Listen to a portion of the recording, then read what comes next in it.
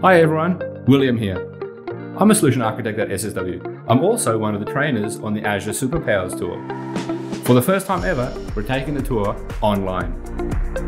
It's an interactive course where we can share our knowledge and experience with you about how to build and deploy applications with Azure. You'll be able to ask us questions in real time, and we can even do one-on-one collaborations. The course will be featuring myself and Matt Wicks from SSW.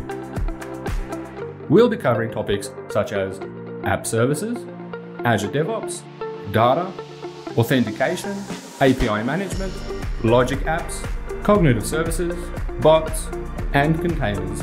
So please join with the links provided and we'll see you online.